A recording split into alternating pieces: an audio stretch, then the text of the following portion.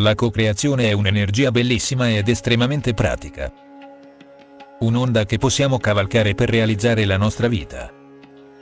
Una dinamica in movimento perpetuo che genera continue manifestazioni.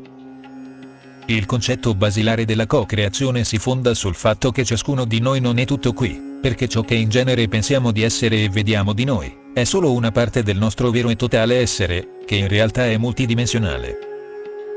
Quando ci incarniamo, il corpo che andiamo ad abitare non è predisposto a contenere tutta la nostra totalità multidimensionale, pertanto, una parte di questa entità quantica che dà origine alla nostra personalità sulla Terra, la nostra identità storica, conosciuta come spirito o sé superiore, resta sull'altro lato del velo, conservando e mantenendo sempre a nostra disposizione tutta l'esperienza, la saggezza e la conoscenza di tutte le nostre vite precedenti, presenti e future. Per inciso, nello stato quantico non esiste il tempo. Mentre siamo sulla Terra nella terza dimensione, la dualità in cui siamo immersi ci impedisce di ricordare e riconoscere queste parti di noi, perché ci identifichiamo automaticamente e piuttosto esclusivamente con il nome e la storia che stiamo vivendo in questo nostro corpo attuale, che vediamo con gli occhi fisici. Però noi non siamo limitati a quello che vediamo allo specchio. La co-creazione è vivere sapendo di essere sempre uniti e accompagnati da queste altre nostre dimensioni di noi, che come detto, restano invisibili non solo agli occhi ma anche alla nostra percezione cosciente, e viene attivata dal nostro intento di farla entrare nella nostra vita materiale e quotidiana. La co-creazione, quindi, si attiva quando esprimiamo una specifica e consapevole richiesta di collaborazione a queste parti di noi che, diversamente, non entrano nel merito delle nostre scelte, quella libera scelta, che possiede l'essere umano incarnato. Il nostro entourage, o spirito, sa meglio di noi il perché della nostra incarnazione. Un altro dei concetti chiave collegati alla co-creazione è la richiesta. Caro spirito, dimmi ciò che devo sapere, conoscere. Esprimere questa richiesta dimostra che riconosciamo la presenza dello spirito, che possiamo fare meglio sotto la sua guida, e che anche la realtà che ci circonda ha una dimensione invisibile per cui ci sono scopi o movimenti di cui non siamo consapevoli, ma se riuscissimo a coglierli e utilizzarli, possono contribuire alla nostra realizzazione.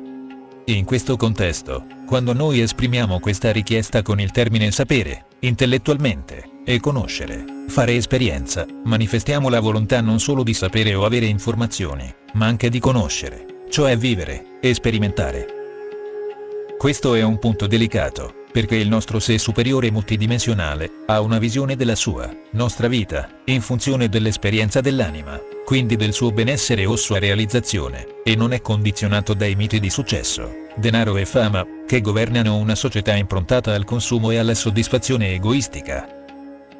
Pertanto, quando si fa questa richiesta bisognerebbe essere consapevoli che la risposta potrebbe anche non piacerci, o non essere quella che ci aspettavamo, e non stupirci se invece di ricevere subito pace e serenità, arrivano situazioni che ci impegneranno a conquistare la nostra pace e serenità.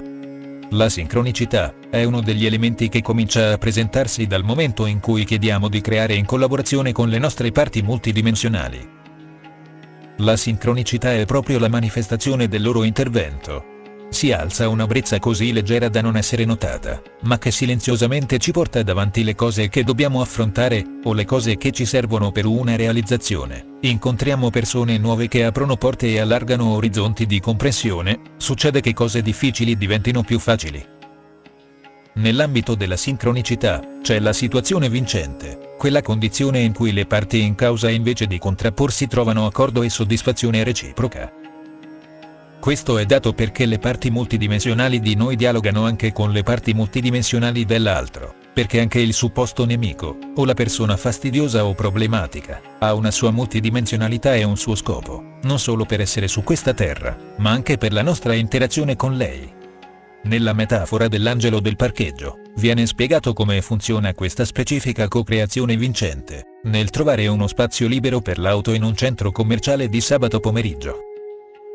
Si tratta di una danza sincronizzata fuori dal tempo e dallo spazio, ovvero ciò che l'angelo, o per meglio dire, la nostra parte multidimensionale fa, è allineare la danza tra la persona che sta uscendo dal negozio perché ha concluso i suoi acquisti, e la persona che sta cercando parcheggio.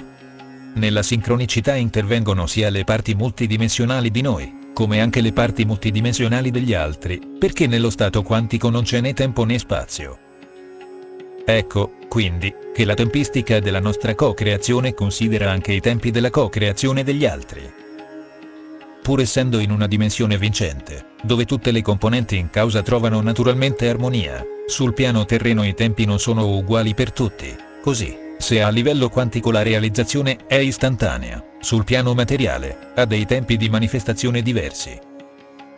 Bisogna quindi rispettare l'opera dello spirito confidando nel risultato, senza dare regole, o porre limiti allo spirito. Necessita, quindi, di fare la nostra richiesta, vedere il risultato finale, e non suggerire come deve essere fatto, o avere aspettative. Nella co-creazione ci sono anche le cose che non sono successe, e che ci dimentichiamo di festeggiare. Spesso ci lamentiamo per un qualche contrattempo che non ci ha permesso di arrivare per tempo a fare quel che desideravamo fare.